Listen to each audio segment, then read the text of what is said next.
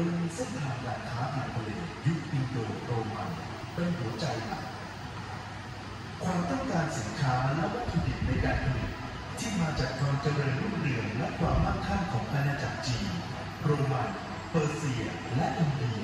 ตลอดจนชุมชนขนาดใหญ่ในดินแดนต่างๆ ที่มีการก่อตั้งเป็นเมืองเป็นรัฐขึ้นมา โดยเฉพาะดินแดนแถบเอเชียตะวันออกเฉียงใต้ซึ่งเป็นเสมือนสะพานเชื่อมโลกตะวันตกและโลกตะวันออก นั่งตรงปันี้จหนั่งตรนี้งกล่องได้เป็นแรงผลักดันให้เกิดการพัฒนาเส้นทางการค้าทางทะเลขึ้นมาอย่างรวดเร็วแม้ว่าก่อนหน้านี้หลายศตวรรษเรือสินค้าของพ่อค้าชาวจีนอินเดียและเปอร์เซีย จะข้ามทะเลจากอาณาจักรจีนสู่อ่าวเปอร์เซียเป็นประจำอยู่แล้ว แต่ส่วนใหญ่จะเป็นการเดินเรือเลียบชายฝั่งและมีระยะทางไม่ไกลมากจนกระทั่งแรงผลักดันดังกล่าว ประกอบกับประสบการณ์การเดินเรือและโดยเฉพาะอย่างยิ่งความรู้ในเรื่องวัฏจักรของลมมรสุมทำให้การเดินเรือทะเลมีประสิทธิภาพเพิ่มขึ้นอย่างมากโดยสามารถกำหนดวันและเวลาในการเดินทางเส้นทางและที่มาได้อย่างแม่นยำมากยิ่งขึ้น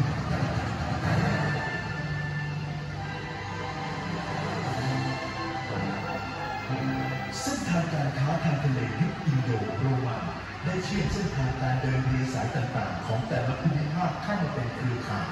และได้อาศัยวัฏจักรของลมมรสุมเป็นปัจจัยในการเดินเรือข้ามมหาสมุทร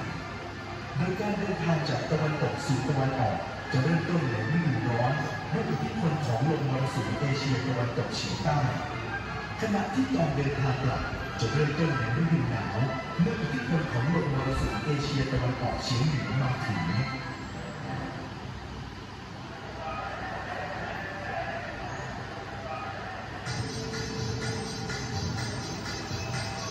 ในช่วงระยะเวลานี้เอง การค้าขายระหว่างอินเดียและโรมันอย่างเป็นรอบเป็นสันทำให้มีพ่อค้าชาวโรมันเข้ามาตั้งถิ่นฐานรวมถึงการผลิตสินค้าเลีนแบบของโรมันบริเวณเมืองโครบุตอาริกาเมดุและเมืองท่าบริเวณใกล้เคียงหลายแห่งทำให้มีทั้งสินค้าของอินเดียโรมัน และเลียนแบบของโรมันมากมายกระจายอยู่ตามดินแดนสุวรรณภูมิบริเวณคาบสมุทรมาลายู และหมู่เกาะต่างๆ ในเอเชียตะวันออกเฉียงใต้ ซึ่งพ่อค้าชาวอินเดียโบราณมีสายสัมพันธ์กับดินแดนแถบนี้มาตั้งแต่สมัยก่อนประวัติศาสตร์ขณะที่ดินแดนสุวรรณภูมิและวัฒนธรรมรอบๆนั้นมีการไปมาหาสู่ซึ่งกันและกันรวมทั้งมีการติดต่อแลกเปลี่ยนวัตถุดิบและสินค้า กับอาณาจักรจีนมาอย่างต่อเนื่อง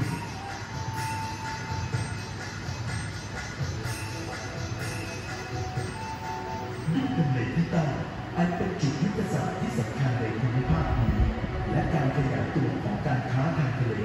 ได้สนับสนุนให้ดินแดนสุวรรณภูมิในขณะนั้น เป็นศูนย์กลางการค้าทางทะเลที่สำคัญแห่งหนึ่งของโลกยุคโบราณ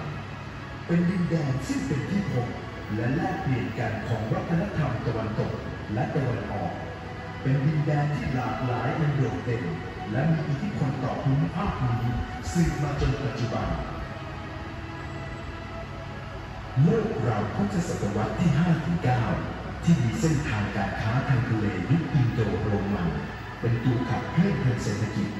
รวมถึงทางด้านสังคมและวัฒนธรรมที่กำลังรุ่งเรืองอย่างสูง จึงเป็นเสมือนช่วงเวลาที่อารยธรรมและชุมชนส่วนใหญ่ได้เชื่อมโยงเข้าถึงกัน และเป็นจุดเริ่มต้นของโลกที่ไร้พรมแดน